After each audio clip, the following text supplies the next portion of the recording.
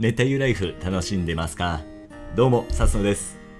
今回は、サスノ家水槽紹介ボリューム2というお話をしていきたいと思います。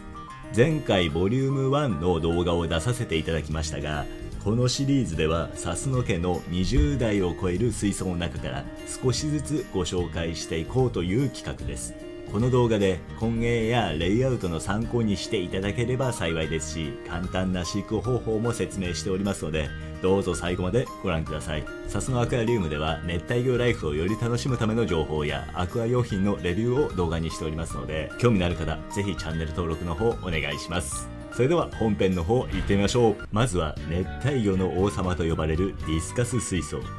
南米アマゾン川原産の淡水魚で素晴らしく美しいお魚ですね。120センチの水槽にて10匹のディスカスと2匹のエンゼルフィッシュあとはポリプテルスとタイガープレコ計14匹を飼育しています。ベアタンクと呼ばれる砂利などを敷かない状態の飼育方法をしていますので究極にシンプルなレイアウトになっています。ディスカスは本当にたくさん糞をしますので常に綺麗なお水を保てるようにメンテナンスしやすい状態を優先しています。もう餌に対して貪欲すぎてちょっと手をかざすだけですぐ集まってきますね。もはや180度になってます。まるでフリスリーですよ。こう見るとディスカスという名前は円盤から由来したものだと言われるのも納得できますね。これだけいるけど一匹一匹個性があってこの子はこの餌好きだよねとかこの子はこの場所好きだよねみたいな当たり前だけどそれが可愛いんですよね。ちなみに水槽があんまりにシンプルすぎて面白みがちょっと薄いんですよね。なので動画として映すことが本当に少ないです。というのが今回エアチューブの苔を落とさないで動画を撮ってしまった言い訳ですね。続いてはアピストグラマアガシジダブルレッド水槽です。アピストグラマは南米原産の小型の淡水魚でとにかく種類も豊富で愛好家も多いです。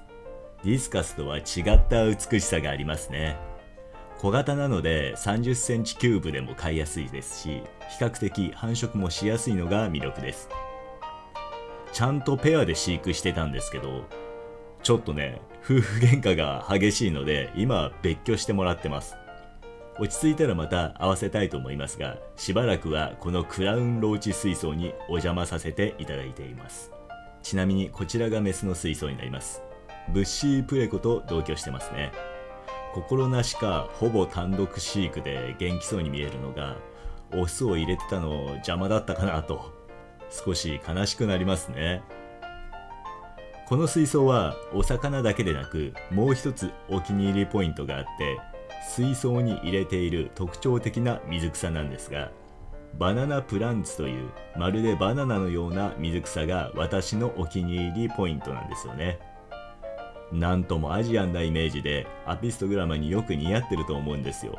このバナナ部分は食芽といってざっくり言うと栄養分を貯蔵している部分ですね。増やし方は浮草部分から白い花が咲きそれとともにバナナ部分ができるそうですが正直まだ見たことないんですよ。なのでめちゃめちゃ楽しみにしてます。これももし動きがあったら動画にしていきたいのでぜひ楽しみにしててください。なんかアピストの話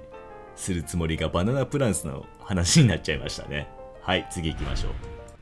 はいラストはサスノ家でベタマンションと呼んでいるベタの飼育スペースです。管理人にはレッドルビーヴァンパイアクラブを任命しています。メスを含めて8匹のベタが暮らしていますね。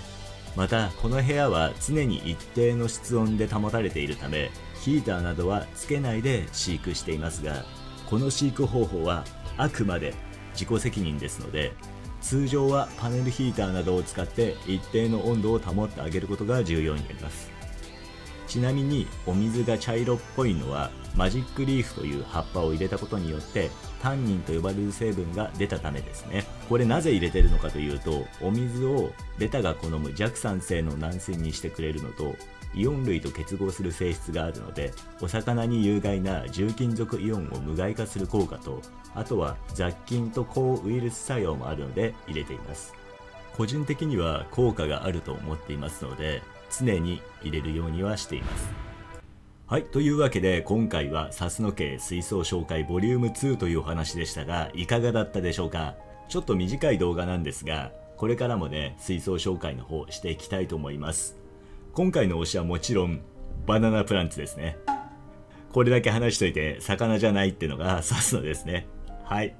では今回はこの辺で終わりたいと思います。サスノアクアリウムでは熱帯魚ライフをより楽しむための情報やアクア用品のレビューを動画にしていますので興味のある方ぜひチャンネル登録の方お願いします。それでは今回はこの辺で終わりたいと思います。最後までご視聴いただき本当にありがとうございます。また次回の動画でお会いしましょう。バイバイ。またね。